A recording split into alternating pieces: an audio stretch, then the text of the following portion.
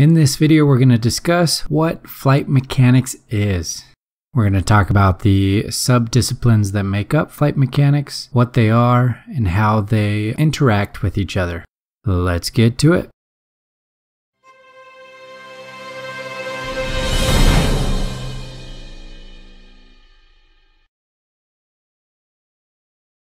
Flight mechanics is kind of a squishy term for a blend of generally three different subdisciplines.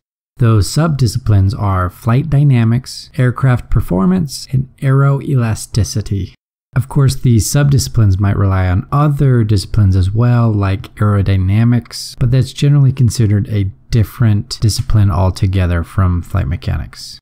Now, back in the day, these used to be handled independently from each other and just kind of looked at separately from one another. But now, with some of the flexibility of the modern aircrafts we see, we actually have to worry about that interaction between these different disciplines because one will affect the other.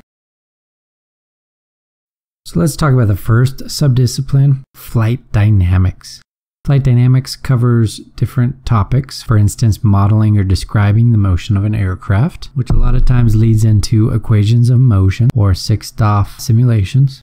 And then another popular topic in flight dynamics would be stability and control, which covers a lot of stuff as well, such as static stability, a lot of the derivatives, longitudinal versus lateral directional modeling, and developing controls for those different axes. This series of flight mechanics, we're going to start really with flight dynamics and, and talk about a lot of these different topics in the next couple videos before we move on to some of the other subdisciplines in flight mechanics. Aircraft performance. In aircraft performance, we oftentimes model the aircraft as a point mass and we care about things like lift or weight or thrust or drag in order to understand what kind of performance we're going to get out of the aircraft. Some of the performance that we care about might be range, right? How far can we go? Or endurance, how long can we stay up in the air? Then takeoff and landing distance, right? How much runway do I need to take off? How much do I need to land? There's others as well, like rate of climb, lift to drag ratio, glide path angle. And so here we're doing some simple modeling to make estimates on performance. And of course, if we model certain attributes with a higher fidelity, we can get better estimates of performance. Then the last general subdiscipline of flight mechanics would be aeroelasticity.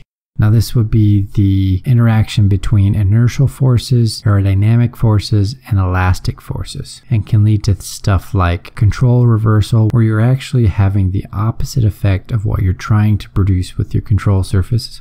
It might also create certain flutter phenomenon in both the body or control surfaces and then, of course, there are divergence phenomena. For instance, if your aircraft is pitched up a little bit based on loads, and that causes the wings to bend slightly backwards, causing an increase in lift, which causes you to pitch your aircraft up further, which causes more loading, which causes more deformation, which causes more pitching up. And as you can tell, we're kind of spiraling out of control in the example, and that's the idea behind divergence. So those are generally the three subdisciplines that flight mechanics is broken up into. Let's have a quick example of how they might interact with each other. So we start off with aero loading. As you're flying through the air, the air is actually causing forces and moments on the aircraft. Those forces and moments could lead to a structural deformation. For instance, the wing might bend farther up or might twist this could change the aerodynamics and stability control behavior of the aircraft. And that change in the aerodynamic behavior of the aircraft can affect the performance as well as some of the dynamic behavior of the aircraft. So, as you can see here, you have elasticity affecting both aircraft performance and flight dynamics. That's the idea behind this series is we're actually going to start looking at these subdisciplines starting with flight dynamics to get a better understanding of what they are, how we can model them, and how we can use them in the design process. But for right now, I'm going to go ahead and end this video. If you like the content, want to see more, or want to see better content, make sure that you like, comment, subscribe, and of course, share the video. Every little bit helps. The more I grow, the better the content can become. I'll see you in the next video.